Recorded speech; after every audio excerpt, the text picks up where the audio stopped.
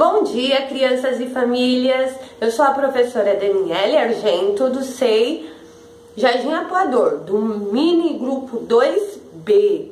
A atividade de hoje é pescaria com os pés. O objetivo é trabalhar a atenção, concentração e a psicomotricidade das crianças.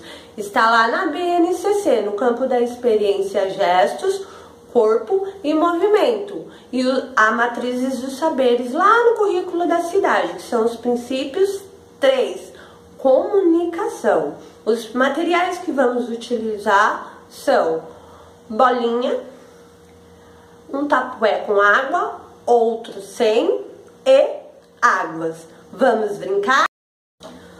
Assim, vocês vão pescar com os pés as bolinhas, ó, desse jeito com cuidado, pegando bolinha por bolinha, ó.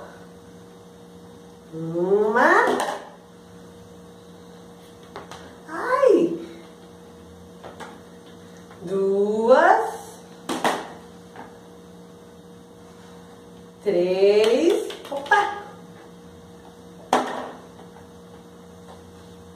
Quatro. E Sim! Que tenha gostado. Tchau!